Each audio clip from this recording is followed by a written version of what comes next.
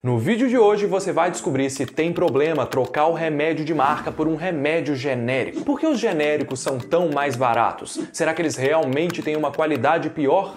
Todo mês, quando cai o salário, Lucrécio compra um remédio chamado Cosar para controlar a sua hipertensão. Uma caixa de Cosar custa em torno de 60 reais na farmácia do bairro. Mas especialmente hoje, a farmácia preferida de Lucrécio está fechada e ele precisou ir em uma que não conhecia. Lá, o farmacêutico oferece para Lucrécio uma proposta tentadora: um remédio genérico que faz o mesmo efeito do Cosar, conhecido pelo nome losartana potássica, custando apenas R$ reais. Você já ouviu aquele ditado que quando a esmola é demais o santo desconfia? Comenta aqui embaixo o que você faria no lugar do Lucrécio. Você compraria o remédio genérico para economizar ou ainda compraria o remédio mais caro? Para entender essa diferença de preço e se de fato eles são realmente iguais, nós precisamos entender como esses e milhares de outros remédios são desenvolvidos.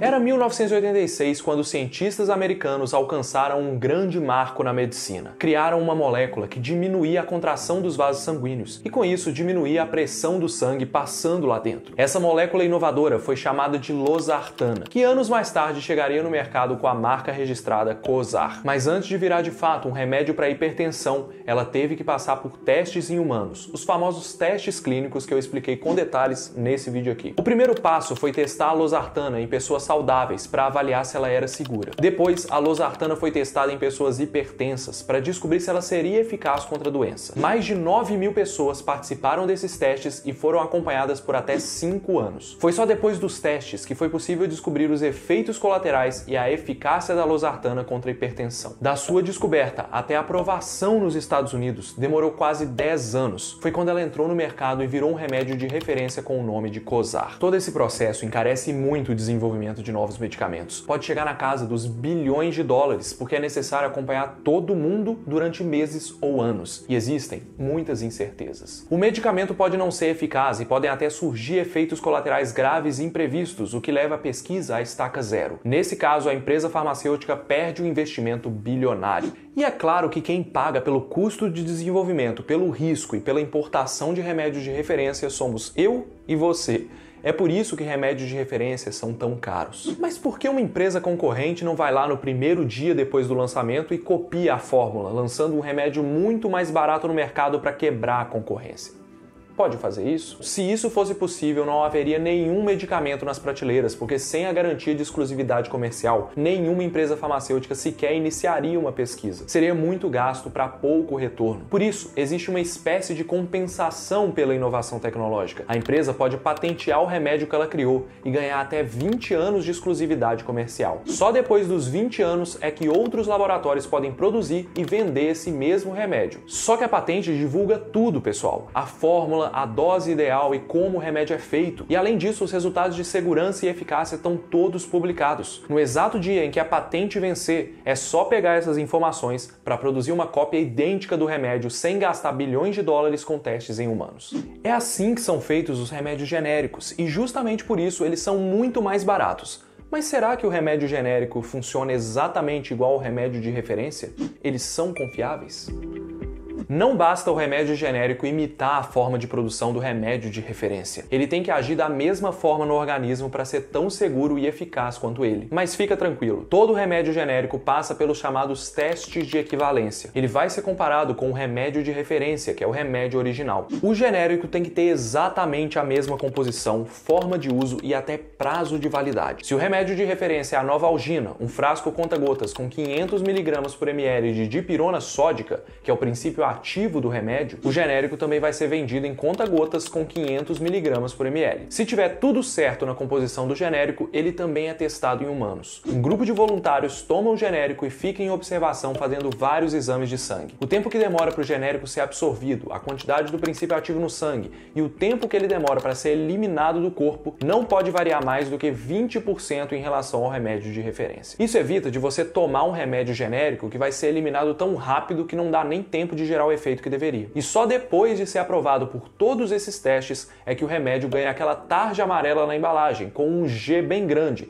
e autorização para ser vendido nas farmácias. Desse momento em diante, o farmacêutico pode te passar o genérico mesmo que o médico tenha receitado o remédio de referência usando o nome de marca dele. Isso é direito seu, garantido por lei desde 1999. A lei também garante que os genéricos custem pelo menos 35% a menos que o remédio de referência. enquanto eles estiverem no mercado, vão passar pelo controle de qualidade da Anvisa de tempos em tempos. Muita gente não sabe disso e acha que os genéricos são baratos porque têm uma qualidade inferior mas não tem nada disso. Inclusive, é comum a mesma empresa farmacêutica produzir o remédio de referência e o próprio genérico. É o mesmo produto, só que vendido em embalagens diferentes, então fica ligado. Deixe seu like aqui no vídeo para essa informação valiosa chegar em quem duvida dos genéricos. Bom, mas se os genéricos têm a mesma qualidade dos remédios de referência, por que, que às vezes eu vou na farmácia e não deixam eu trocar o remédio que o médico colocou na receita? E além disso, por que tanta gente diz que o genérico não tem o mesmo efeito? Será que eles não funcionam para todo mundo? Bom, eu vou te deixar com a pulga atrás da orelha por enquanto, porque agora eu vou te mostrar que às vezes um produto de marca pode sim ter um baita diferencial. Esse é o caso dos produtos da Insider. Agora você vai gostar, olha só. Uma das minhas metas de 2023 é fazer caminhada em pelo menos 300 dias do ano. Só que um problema é que na cidade que eu moro chove muito, praticamente umas duas vezes por semana, o que desanima demais de sair, né? Pois é, mas eis que a Insider me mandou dois produtos que casaram perfeitamente para resolver esse impasse. É, a desculpa da chuva não vai colar mais. O primeiro é o Future Shorts, com tecnologia hidrorrepelente, galera, ou seja, resistente à água. Pessoal, ele é super confortável, é muito difícil de molhar e seca rápido, beleza? E o segundo é o Urban Cap. O boné que também tem o mesmo tecido resistente à água, é muito levinho e bem gostoso de usar. Agora, se liga no teste que eu fiz no tecido para comprovar que eles realmente não molham com facilidade.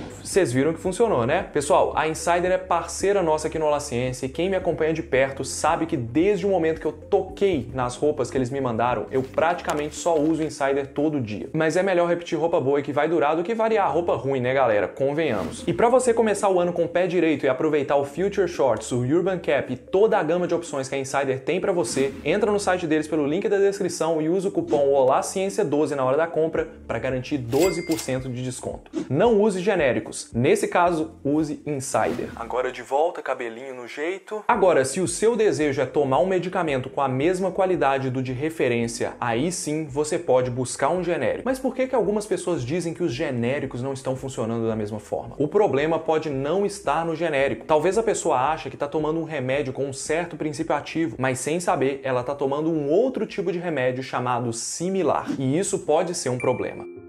Além do remédio de referência e do genérico, existe um outro tipo, o remédio similar. Você já tinha ouvido falar? Comenta aqui embaixo. Ele não é um remédio criado do zero, é uma cópia de um remédio de referência. Eu sei que pode parecer confuso porque o remédio genérico também é uma cópia do de referência, mas enquanto o genérico é uma cópia idêntica, o remédio similar pode ter algumas diferenças. O de referência às vezes pode ser em gotas e o similar pode ser em cápsula. O de referência pode ter um tipo de conservante e um prazo de validade, o similar pode ter outro. Mas o similar, assim como os genéricos, também tem o mesmo princípio ativo, dose e indicação de uso. Agora, uma diferença para os genéricos genéricos é que os remédios similares eles têm uma marca registrada. Por isso eles aparecem em propagandas e muitas vezes ficam mais conhecidos até que o próprio remédio de referência. É o caso do Neosoro, por exemplo, muito usado para descongestionar o nariz. Mas talvez você não saiba que ele é um similar, né? Quem passou por todos os testes primeiro, o remédio original foi o Sorine adulto. Então o Neosoro é o similar do Sorine. E galera, ser similar não é problema. Não precisa abandonar o Neosoro por isso. Desde 2014, a Anvisa exige que os remédios similares passem por testes de equivalência